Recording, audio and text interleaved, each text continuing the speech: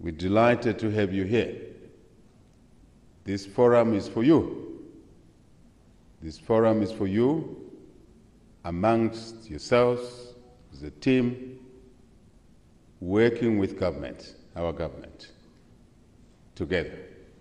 And today we want you, today and tomorrow, to get the world to know that Zambia is on the move. The very first time since our independence, in 1964, that uh, Zambia and the EU are meeting in this manner, in this way. This is important.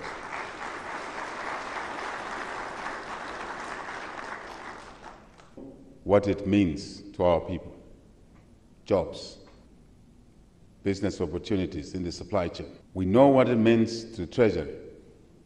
We know what it means for the sick, the weak, the orphaned, and the old. Because only if we succeed in the economic side, on the economic side of the equation, trade investment, can we support the vulnerable in our society. I'm an agent of the people of Zambia to make their lives better. Zambia has attracted several EU companies with an estimated investment of 1.6 billion euros in energy, environmental services, construction engineering services, fresh agro processing, let's call it agriculture, broadly, among others. But honestly speaking, 1.6 billion euros.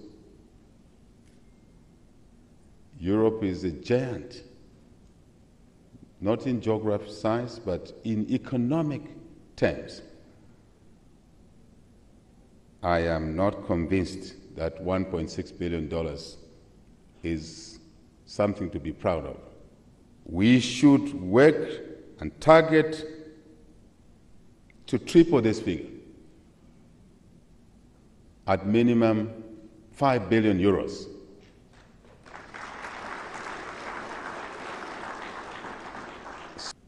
I do watch the board language when we're in cabinet and we're talking about improving business environment.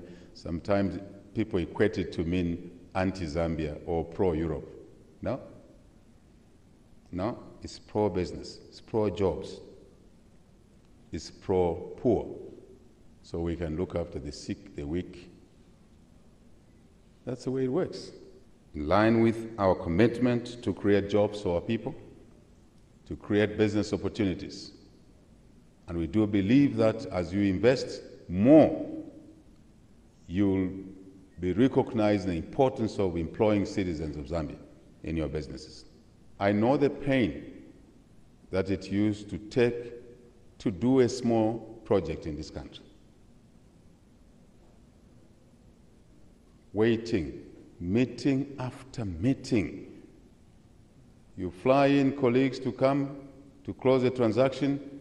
No, the minister has gone to a funeral. Can you come back next week? People have dropped what they had to do.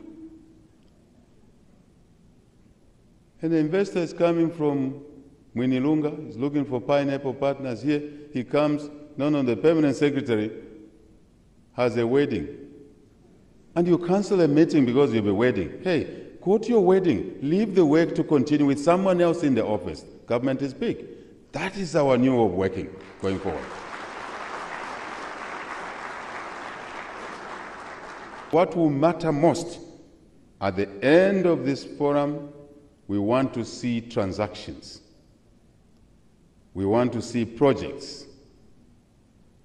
We want to see a decision made by someone here, even if it means phoning their headquarters that they are going to increase their investment in their existing business or start a new project in this country.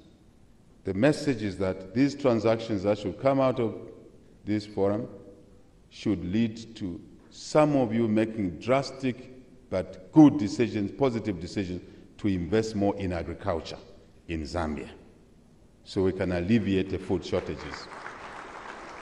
Let's work together, colleagues.